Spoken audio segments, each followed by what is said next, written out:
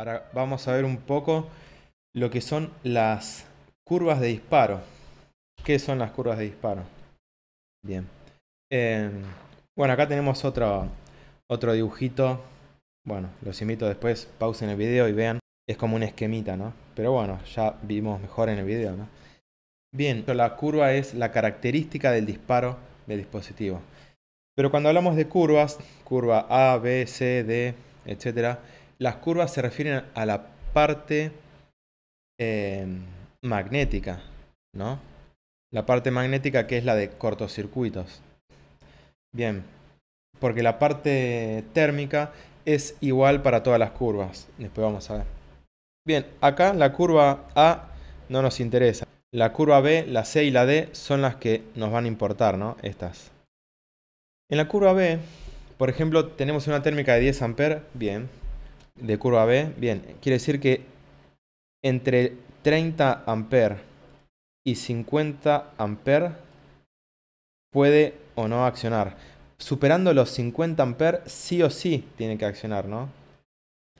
Eh, o sea, más de esto, sí o sí tiene que accionar. Sí o sí, bueno, malísima mi letra. Eh, nunca aprendí a escribir. Bien, bueno, eh, entonces, acá nos dice todo esto, esto no nos importa, utilizan generadores. Lo que nos importa a nosotros es que en una casa podemos usar curva B, curva C, curva D, podemos usar las tres.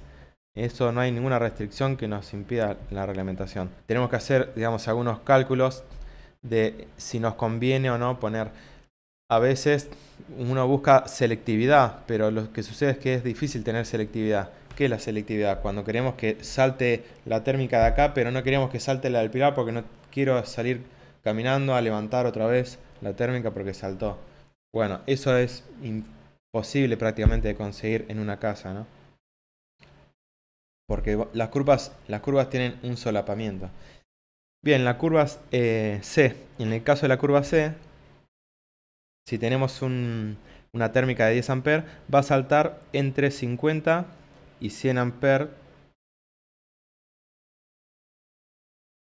Puede actuar, ¿no? Puede o no, puede, o no actuar. Si tenemos más de 100 A, sí o sí va a actuar. Es decir, si tenemos 101 A, sí o sí debe disparar en menos de, de 100 milisegundos. En menos de 100 milisegundos. Después tenemos o sea, en la curva B, obviamente que si hay una corriente de 1000 A va a disparar al instante, ¿no? ¿Qué dije? Más de 50 sí o sí va a saltar, ¿no? Es decir, que la curva B es más sensible. Pero bueno, como les dije, no importa eh, lo demás. la curva D entre 10 y 20, es decir, entre, si tenemos una térmica de 10 A, quiere decir que entre 100 y 200 A tiene, eh, puede puede no actuar, ¿no? Dependiendo, porque vamos a ver que hay una zona de incertidumbre, de incertidumbre ¿no? Puede o no actuar. eso va a depender del, del, pico de tensión que se produzca o del cortocircuito, si es un cortocircuito o no. Por ahí es un pico de tensión que no es, eh, que es, que es muy largo y nos va a hacer disparar antes de los 200 amperes, ¿no? Pero si supera ya los 200 amperes, sí o sí tiene que saltar. Bien, ¿y por qué no importa leer lo demás? Porque nos va a confundir. Lo que importa es que siempre las termomagnéticas son para proteger a los cables. ¿no? Lo que decía de los cables es porque ahí dice que bueno, es para motores, no, pero esta, esta curva es para otra cosa, para semiconductores, no. No es que protege al dispositivo, no, no nos va a proteger ni al motor ni a un dispositivo. El motor se puede quemar por sus razones no va a proteger al motor, lo que protege al cable que va hacia ese motor. Eso es lo que hay que tener en claro. Porque las termomagnéticas están hermanadas con los cables. Hay una curva también de calentamiento de los cables donde le corresponde determinada eh, gama de termomagnéticas, ¿no? No puedo poner una térmica de 63 amperes y poner un cablecito de 1,5, porque el cable de 1,5 cuando supere los Em, más de, de 15 amperes se va a empezar a quemar y a derretir. Y esa térmica nunca va a saltar, va a saltar recién a los 63 amperes para arriba. O sea, bien. A ver, eh, entonces bueno, tenemos que diferenciar las curvas. Esto lo saqué de internet, o sea, ustedes van a internet, van a buscar curvas de disparo de termomagnéticas y pueden leer y lean hasta entender bien.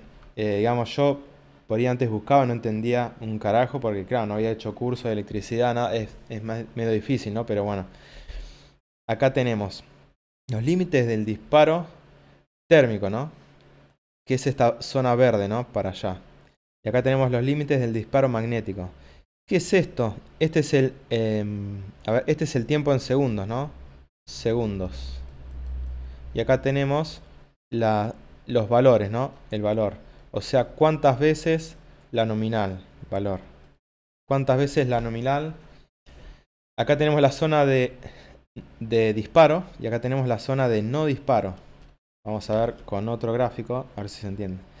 Bueno, entonces acá, eh, por ejemplo, si es una térmica de 10 amperes, vamos a tener esta curva. Bueno, entonces quiere decir que si esa térmica es de 10 amperes de curva C, recordemos que entre, ¿cuánto era? Entre 5 veces la nominal, o sea, acá tenemos 50, ¿no? 50 veces la nominal, ya tenemos un límite, ¿no? Donde acá tenemos los segundos, que ellos son 100 eh, milisegundos, ¿no? Quiere decir que acá tiene que disparar instantáneamente. De acá para allá dispara instantáneamente, ¿no?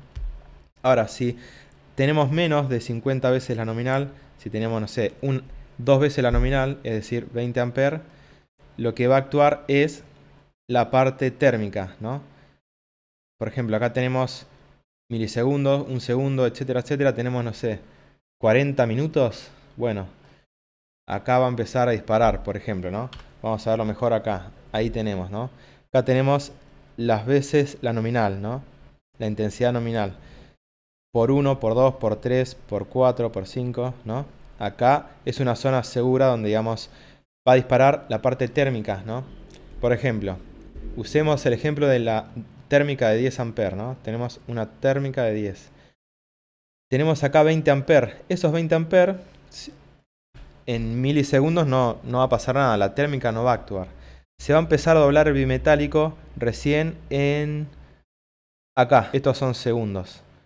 Entre los 30 segundos y 120 segundos es una zona de incertidumbre esto, ¿no? Que puede o no actuar. O sea, antes de los 30 eh, segundos eh, no va a actuar.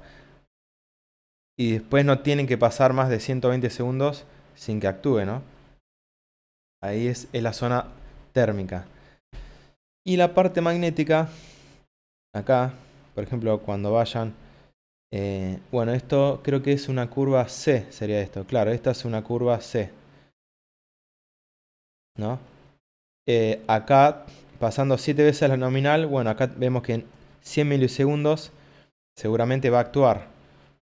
O puede que, que tarde un poco más según cuánto va, ¿no? Si va a 70 amperes, que sería 7 veces la nominal. ¿no? Tiene un, siempre hay una zona de incertidumbre, pero ya cuando hablamos de curvas magnéticas, hacia esto de acá para allá es el disparo magnético, tiene que eh, actuar en milisegundos, ¿no? Es decir, acá no me va a dejar pasar ni, ¿ves? Ni, ni 20 milisegundos, ¿no? Sin que actúe, ¿no? Acá son 20 milisegundos, ¿no?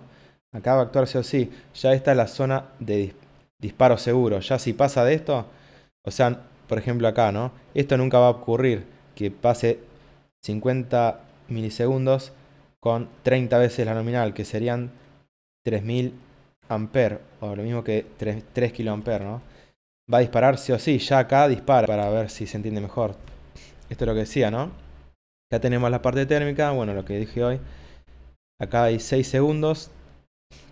Puede empezar a disparar hasta 120 segundos cuando tenemos, por ejemplo, mm, dos veces la nominal. Bueno, acá dice 32 amperes. Quiere decir que es una térmica de 16 amperes. Acá puede actuar. Cuando pasen 6 segundos o hasta 120. Bien, y esto es igual para todas las térmicas, ¿no? Esto se va, la parte térmica es igual para todas, no hay, no hay más curvas. En cambio acá tenemos curva B, curva C, curva D, ¿no? Entonces acá tenemos estos valores preestablecidos que quiere decir 1,13 veces la nominal. Es decir, por ejemplo, una térmica de 10. que sería 11,3 amperes, eso es 1,13, eh, no va a actuar antes de una hora, ¿no? Antes de una hora, si sigue andando en 11,3 amperes, puede estar más de una hora que no va a disparar. Ahora, cuando sobrepase 1,45 veces, o sea, 14,5, ahí tiene que actuar en menos de una hora, ¿no? En menos de una hora ya tiene que actuar, puede ser en media hora, 40 minutos, por eso es una zona de incertidumbre, ¿no? Ahora si supera ya dos veces la nominal, ya es más chico el rango, ¿ven? Acá cuando ya tenemos, por ejemplo, una de 10 amperes, serían 20, 20 amperes en esa térmica, ya tenemos esto, ¿no? Esto, esta curva, que es igual para todas. Lo que sucede es que si tenemos una de 10 o una de 16, tenemos que multiplicar por veces la nominal, ¿no? Para ver qué valores serían, ¿no? Por eso la de 10 es más fácil de multiplicar, por eso pongo ese ejemplo, ¿no? Ahora tenemos esto, ¿no? Acá está lo importante. Esta diapositiva es la más resumida. La curva de disparo con corrientes entre 3 y 5 veces la nominal. La curva C dispara entre, o sea, entre 5 y 10 es la zona de incertidumbre, ¿no? La curva D entre 10 y 20 es la zona de incertidumbre. Ya superando 5 veces la nominal, todas van a disparar. Todas, todas estas van a disparar. Por eso acá vemos, ¿no? Otro grafiquito. Acá, pongamos que tenemos una térmica de 10 amperes. Bueno, multipliquen. Por 4, a ver, eh, bueno, por 3, ¿no? 30 amperes, por ejemplo, ¿no? Ya puede empezar a disparar, ¿no? Ya estamos acá en esta zona, ¿no? Bueno, un poquito más de, de 30 amperes nos, nos, muestra este gráfico, ¿no? Eh, y acá que serían 50 amperes, ¿no? Acá, si tenemos 50 amperes, vamos a intersectar. Bien, acá puede disparar ya. O sea, 0,005 que serían 50 milisegundos, ¿no? Pero no tiene que pasar de 100 milisegundos, ¿no? Bueno, acá en realidad... Sí, acá. Acá, bueno, acá nos, ya nos, nos muestra hasta 200 milisegundos, ¿no? Pero en realidad por normas, las normas que usamos en este país, las que térmicas fabricadas tienen que ser antes de 100 milisegundos.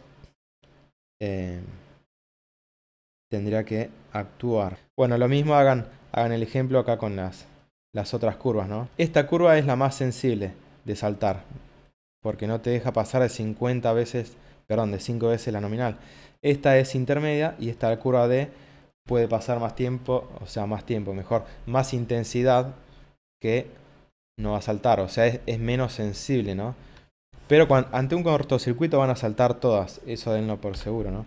Por eso las curvas eh, se eligen a veces una curva D para motores, porque los motores tienen siempre un pico de arranque, ¿no? Hasta 7 veces o más la nominal pues, eh, tiene un pico de arranque. Entonces, esos son milisegundos. Entonces, por ahí nos salta con una térmica curva C. Entonces, bueno, ponemos una D para que eh, no salte, porque eh, quiere decir que no es un cortocircuito, sino que es un pico de arranque.